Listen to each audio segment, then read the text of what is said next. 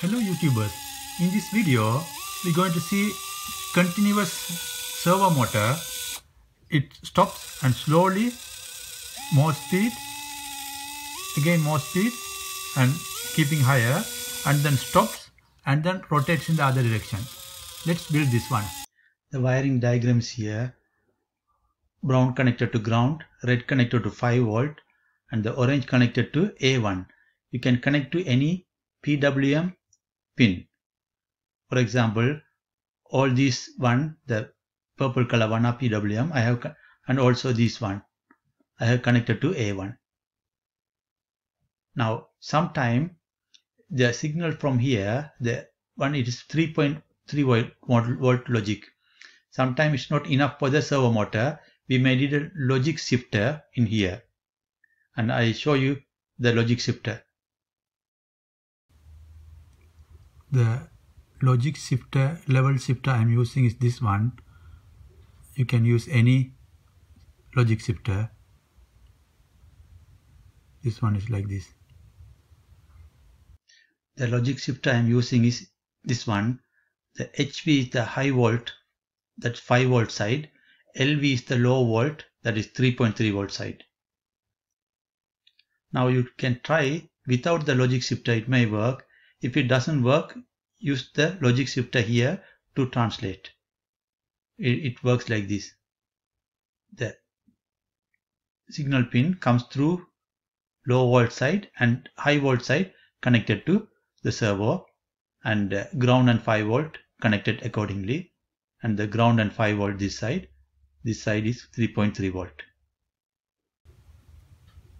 the wiring connection is here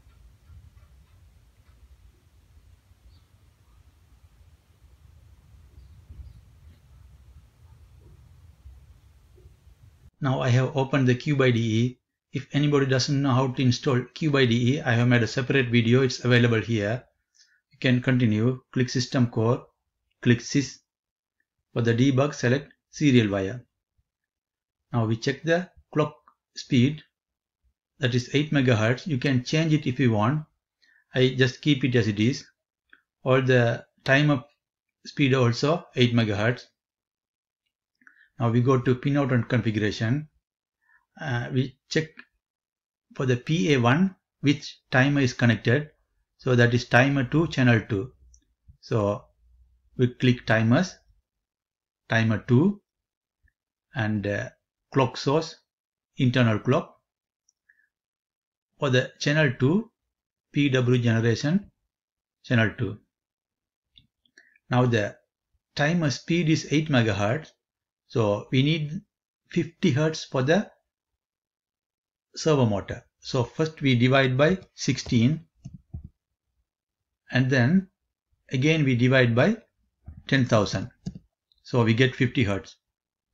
8 megahertz divided by 16 and then 10,000 if it is 72 you you multiply by divide by 72 times 2 that is 144 and then 10,000 that's all the setting. We can click save.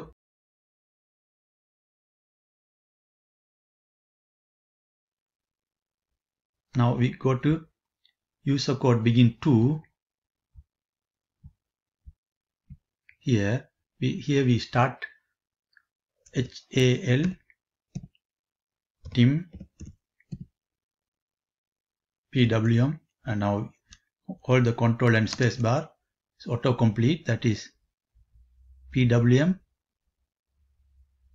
start. That tim2 and uh, channel is tim ch channel 2 in the while loop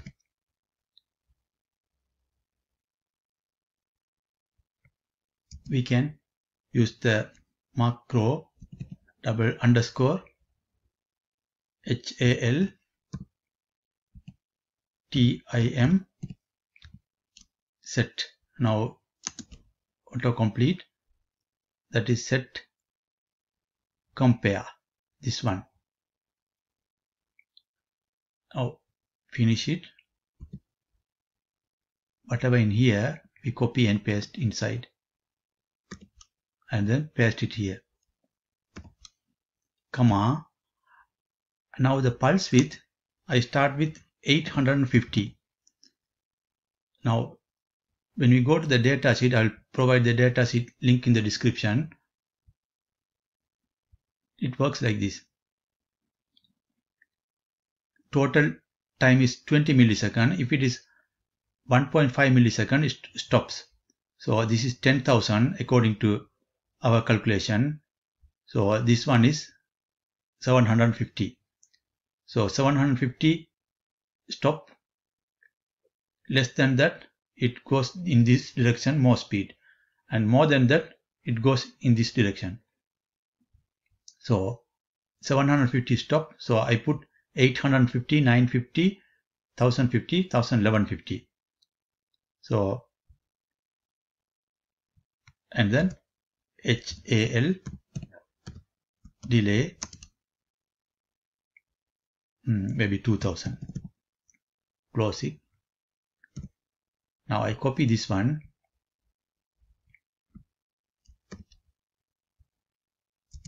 Paste it for 9 times. 3 4 5 6 7 8 9 so 850 950 1050 1150 and then here I go to stop. This is for the stop. Now I go in the other direction 650 550 450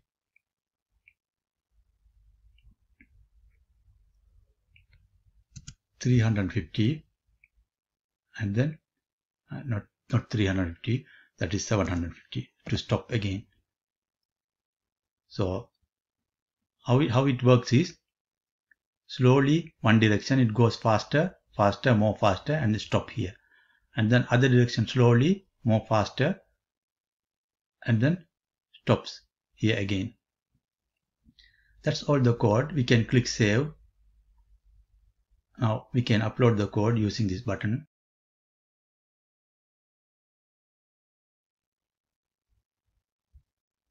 I normally use debugger and OpenOCD. It will work with the original board, also with the clone boards. Click show generate option. Go below. Reset mode is software system reset. Click apply. Click OK.